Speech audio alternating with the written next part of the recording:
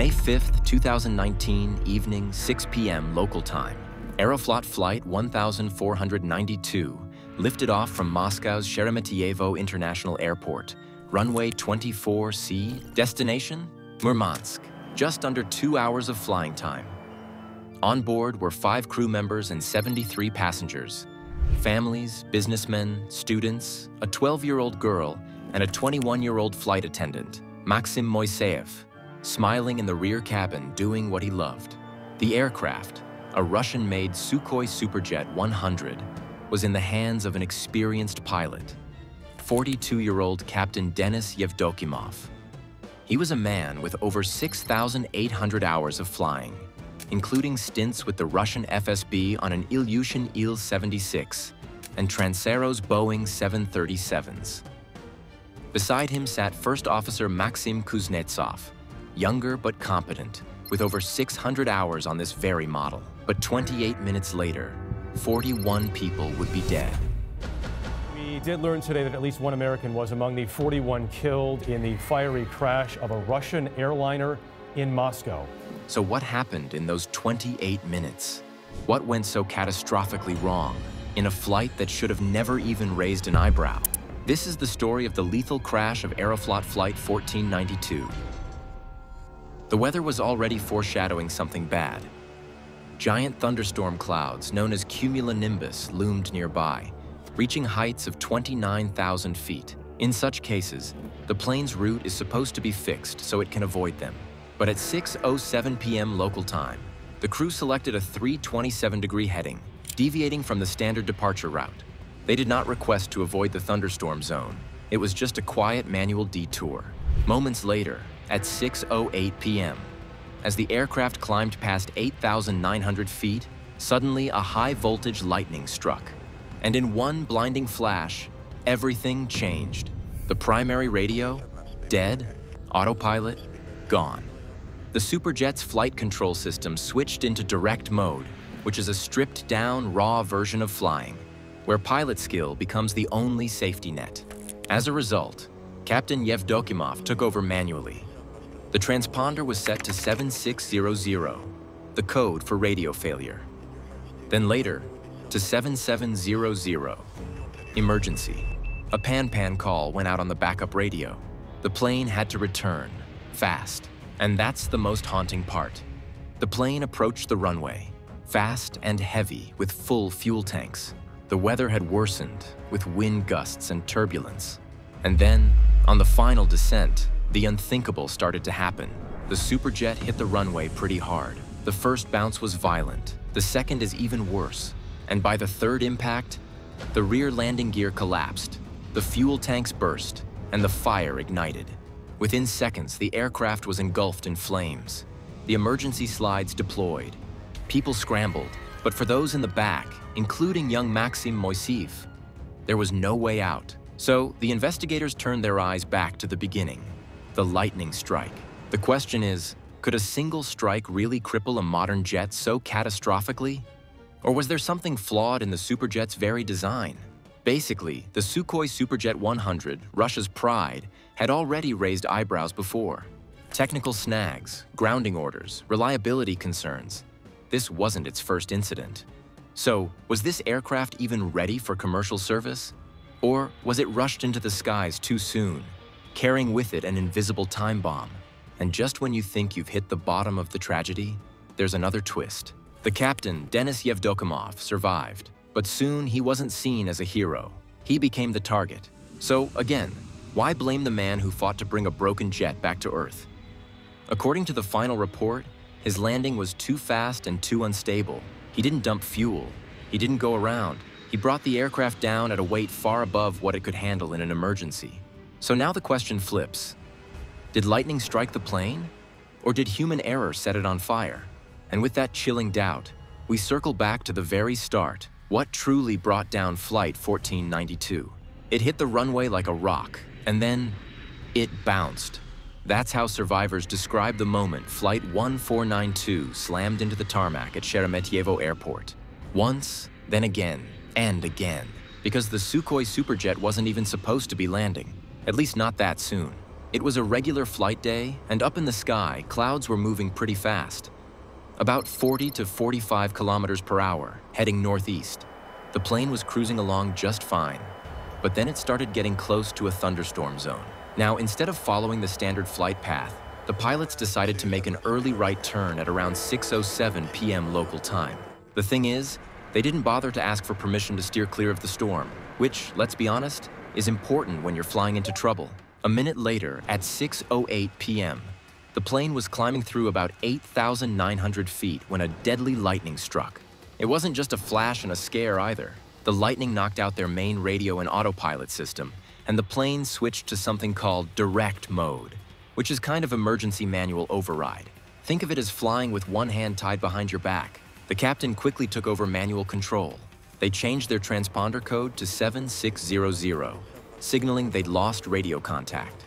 Some moments later, at 6.26 p.m., they switched it to 7700, full-on emergency mode, because things were getting serious. Luckily, the backup radio still worked, and they managed to get in touch with air traffic control, even sending out a pan-pan call.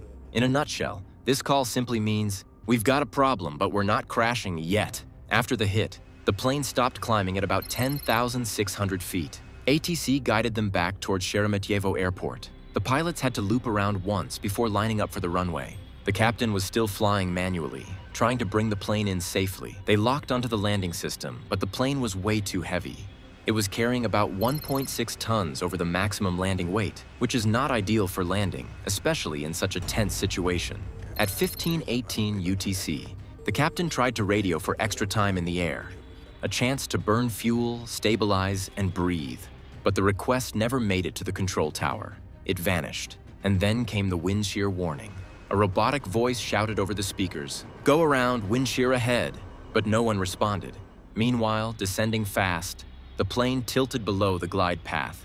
Glide slope, the alert in the cockpit screamed. The captain pushed the throttle. Speed surged past 170 knots, which was dangerously fast. At just 40 feet off the ground, the plane was still wildly unstable, and then, slam. All three landing gears struck the runway too hard. It was a brutal impact with a force 2.55 times greater than gravity. Just imagine, why didn't the spoilers deploy? Because the system was in direct mode. They had to be done manually. The plane leapt again, six feet into the air, briefly becoming airborne. That's when the captain made a desperate move. He yanked the side stick full forward, held it there, and tried to throw the engines into reverse. But the problem was, reverse thrust can't engage midair. And the thrust doors? They were still opening when the plane smashed down for the second time. The second landing was so hard and loud it felt like the sky broke. Just two seconds after the first, the jet crashed nose first onto the runway at 178 miles per hour, hitting with a force nearly six times stronger than gravity. That's not a landing. That's a controlled crash in broad daylight, but it didn't stop there.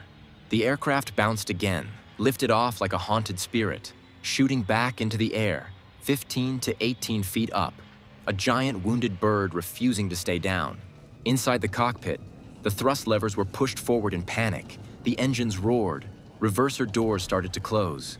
Before the engines could respond or the plane could take off again, gravity won. So why did the plane catch fire only after the third bounce? On that third and final impact, the right main landing gear punched up into the wing, pierced it like a knife. As a result, a fuel tank got ruptured and jet fuel sprayed across the burning hot engine parts. And in a flash, the aircraft became a fireball. The flames tore through the fuselage like a chainsaw, slicing through seats and lives alike. The result? 37 people made it out alive. 41 did not. But here's the part no one saw coming. Why were the cabin crew blocked by passengers dragging suitcases? Why did the evacuation take twice as long as it should have? And that is another twist. In that desperate moment, with the cabin filling with smoke, people still reached for their bags while the flames devoured the wings, then the rear, then the empennage. Alarms screamed inside the cockpit, cargo hold, auxiliary unit. Everything was going down, literally. The aircraft skidded down the runway like a comet, veered left, and finally, it stopped. Not on the tarmac, but on a patch of grass between two taxiways, nose facing the wind. That was 1530 UTC. By 1531, the engines were silent. Meanwhile, the evacuation began. Slides deployed at the front. People hurled themselves out like crazy. The first officer didn't even wait for protocol. He climbed out the cockpit window using an escape rope. 70 seconds after the slides deployed, passengers were still scrambling out, some clutching hand luggage. And yet, the back half of the aircraft reduced to ash and steel bones. But what the hell happened up there? Because this wasn't a freak weather incident. This wasn't just another bad landing. Something had gone wrong long before the runway ever showed up on the windshield. The real story started at 1503 UTC, 27 minutes before fire kissed metal. The plane had taken off from Moscow's Sheremetyevo airport, climbing into a sky that looked deceptively calm. But 12 minutes in, the flight crew radioed something no one expected, requesting immediate return. No code, no mayday, just a cold, clipped announcement. The reason? That lightning bolt from the sky slammed into the aircraft at cruising altitude, striking it dead on. The cockpit lit up like a flashbang. The systems flickered. For a moment, the flight turned into a flying blackout. But the plane was a Russian-built Sukhoi Superjet 100 designed to handle lightning, or so they claimed. Because this strike didn't just shock the sensors, it fried the system that made the aircraft fly like a feather instead of a rock. The automatic controls glitched, the radios went silent, the flight mode degraded to manual override. Now the pilot, who'd flown hundreds of hours, was suddenly fighting with steel instead of guiding it. The flight protection systems were offline.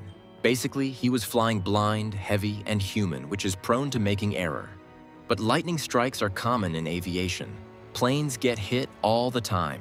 So why did this one bring a jet down in flames? Now that's where things get darker. Because when investigators started digging, they didn't just find scorched wiring. They found a history, a pattern. The black boxes were recovered, the CVR in good condition, while the FDR was badly damaged from the intense heat. Then, IAC expert Vladimir Kofman stirred the pot. At a transport security forum, he claimed that hard touchdowns were the cause of the crash. And when the 2019 report came in, it blamed pilot error. But lightning damage and gear design flaws raised deeper concerns. Six years later, in 2025, the final report pointed to the captain's loss of control, urging better training and design review. And that's how the case closed, but doubts about a larger systemic failure refused to fade. Now the fact is, the plane shouldn't have crashed, but it did. On the 6th of May 2019, the investigation pointed to pilot error, dispatcher mistakes, poor maintenance, mechanical failures, and bad weather. But the fire response at Sheremetyevo was a disaster. Air traffic control delayed the alarm, and only two out of six engines responded in the first six minutes, and there was no foam. In October 2019, the captain was charged for violating regulations. By June 2023, he was sentenced to six years in a colony settlement. Amidst all these, rumors persisted that the plane's wings had been improperly configured. Aeroflot also denied pilot error, defending the procedures. As a result, a petition to ground the Sukhoi Superjet 100 came in, and it gathered over 140,000 signatures. But the Transport Ministry insisted there was no design flaw, Aeroflot canceled SSJ-100 flights, citing safety measures. But on 24 May, the Russian Air Transport Association demanded a review of the SSJ-100 certification, raising concerns about electrical, fuel systems, fire protection, and crew training. But still, the question remains. If the plane wasn't at fault and the fire response was delayed, who is truly responsible? And what does this mean for Russian aviation's future? What do you think? Share your thoughts in the comment section. Meanwhile, we will meet again in another video in the investigation of another fatal plane crash. And before you go, don't forget to leave a like for this video if you liked it and subscribe to the channel. Thanks for watching.